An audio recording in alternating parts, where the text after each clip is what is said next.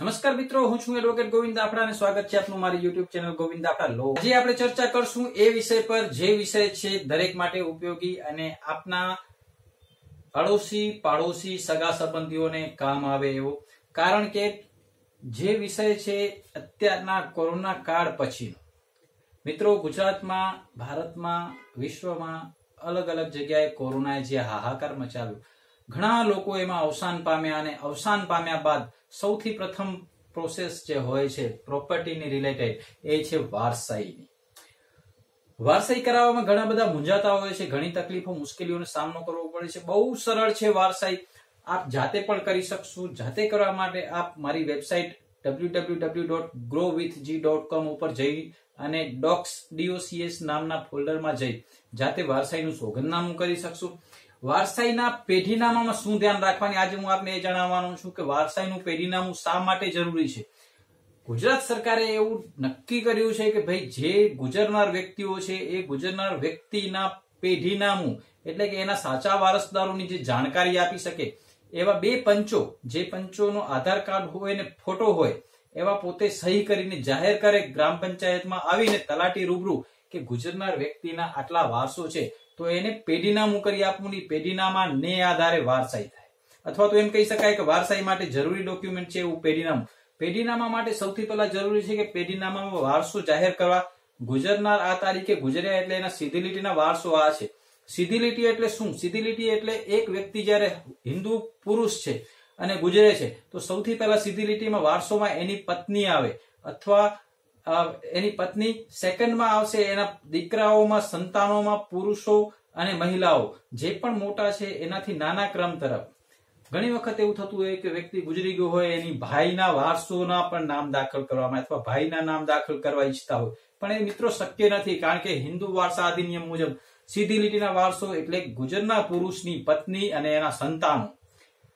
પત્ની અને સંતાનો, એટલે કે એની પત્નીનું નામ આવે, એના સંતાનોમાં સૌથી મોટો દીકરો કે દીકરી હોય એ તમામ. દીકરી લગ્ન કરીને ચાલી ગઈ છે એટલે એનું નામ છુપાવી નાખવું એવું નથી. એનું નામ પણ જાહેર કરવું જ પડે. નામ જાહેર કર્યા પછી તમામ વારસોના નામ આવ્યા પછી જો આપ ઈચ્છો તો જે બહેન પરણીને બીજે ક્યાંક ગઈ છે અને સ્વૈચ્છિક રીતે હક ઉઠાવી લેવા માંગતી હોય, તો એને બોલાવીને પાછળથી હક કમી કરાવી શકાય. પરંતુ એના હક છુપાવીને ડૂબાડી ના શકાય. આ એક ફોજદારી ગુનો છે. અચૂકપણે યાદ કરજો, જ્યારે પણ મને યુટ્યુબ પર Govind Dafda law office search કરી, મારા બીજી બીજા ઘણા બધા વીડિયો છે, એ વિડીયોમાંથી પણ તમને વારસાઈ સંબંધી, જમીન સંબંધી, મિલકત સંબંધી માહિતીઓ મળતી રહેશે.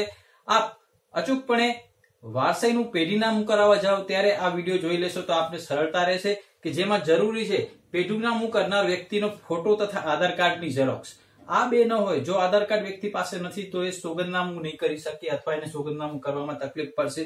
પછી પેઢીનામું કરનાર વ્યક્તિનું દરેક પેજ ઉપર તથા નોટરીના ચોપડાનો સહી કરાવી. એફિડેવિટ જે છે એફિડેવિટ આપ કરશો, તો એ એફિડેવિટ નોટરાઇઝ નોટરી પબ્લિક પાસે જઈને કરવાનું રહેશે.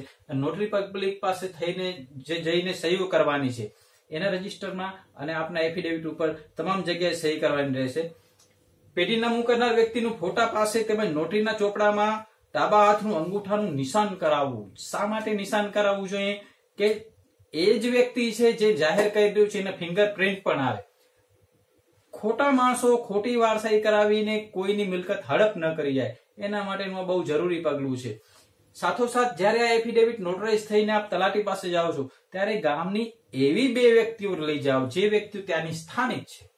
સ્થાનિક છે અને એ એમ કે છે કે ગુજરનારને અમે ઓળખીએ છીએ અને એમના સીધી લીટીના વારસો આ છે. જેથી કરીને કોઈ પણ માણસ ખોટી રીતે આપની જમીનમાં વારસાઈ નહીં કરાવી શકે. મિત્રો, કોઈ પણ પ્રશ્ન હોય તમે કમેન્ટ બોક્સમાં લખીને પૂછી શકો છો. મારા નંબર પર વોટ્સએપ આપેલું છે અને વોટ્સએપના જે નંબર છે એના પર પણ આપ પ્રશ્ન પૂછીને મારી પાસે સીધું જ માર્ગદર્શન મેળવી શકો છો.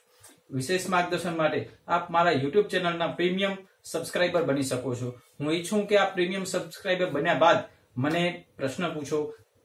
થેન્ક યુ દર સોમવારે કરતા રહેશું. કાયદાની વાત, ફાયદાની વાત. અવિરત પ્રવાહ આ જ્ઞાનનો વહેતો રહે. એવું ઈચ્છીએ. થેન્ક યુ સો મચ ફરી મળશું. જય હિન્દ, જય ભારત.